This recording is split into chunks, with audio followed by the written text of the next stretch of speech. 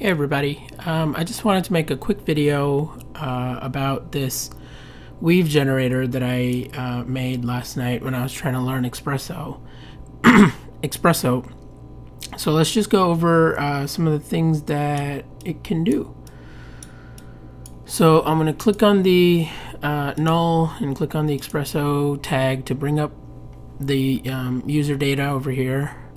And I don't really know how to put it so that if you click it, you know, it shows up like, uh, let's say in the uh, HDRI Studio rig, you know, it shows up. But anyway, if anybody knows, let me know.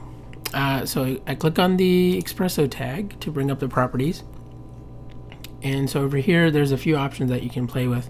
First one is height. Um, and this is the amplitude of the curve. Uh, and so what this will do is that.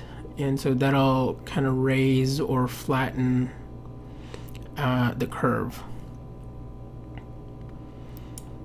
Uh, let's set that back to 5. Uh, grid width, what that does, it adds um, additional clones or less clones, whatever you want.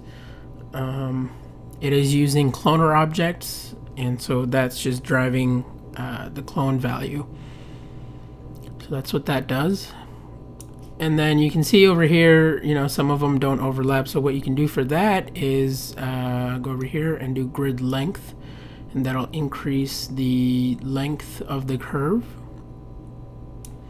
And so basically you can make uh, a weave pattern that's essentially infinite. You know, you can go crazy with it.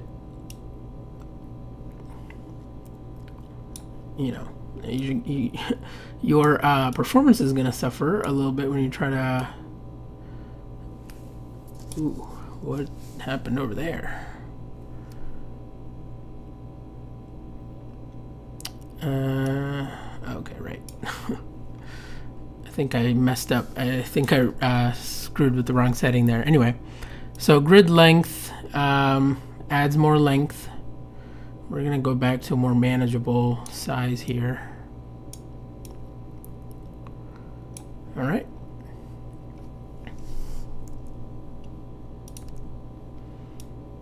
And what you can do there, uh, uh, what I just did there was I pressed S to zoom the camera into whatever object is selected. Uh, so that's a quick tip there.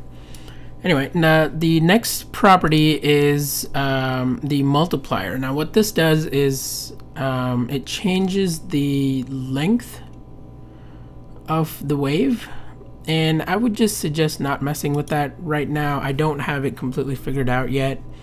Um, there are a few different patterns that you can do, but there's a little bit more stuff to play around with. So, so I'll come up with an update at some point.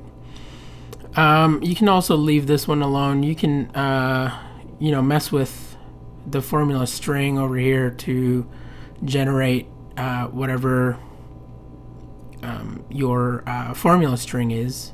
And so, so, you can do that over here, but I'm just going to leave that at uh, multiplied by t.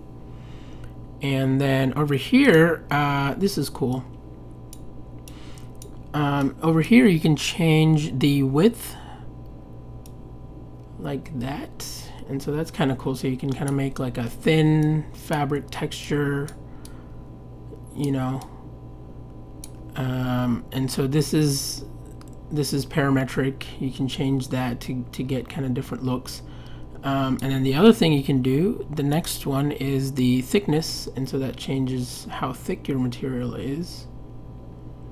You can make it like super thin or you can make it thicker.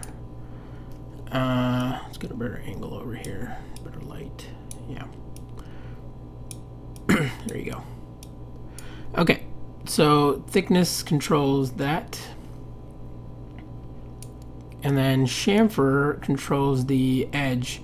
Um, and so if you have like zero over here, you know, you get this kind of bland, you know, there's no highlights or anything. So that's why I kind of added this. It gives, uh, it gives it that chamfer to reflect some light off of. And if you have some nice shiny texture on there, you know, you'll get a even, even better result. So uh, yeah, you can play around with that. Um, So yeah, you got your thickness, your width slider, and then your chamfer. Alright guys, um, that's it. Uh, you can change the matte color obviously to whatever you want. Um, you know, the material color. It's pretty, pretty simple, um, pretty straightforward. So anyway, uh, I hope you have fun with this. And uh, let me know if you, you know, want to make changes. I'm sure you can go into the Xpresso tag and, you know, play around with it. So if you make it better, let me know and uh, share it with us. Alright guys, uh, I'll see you later.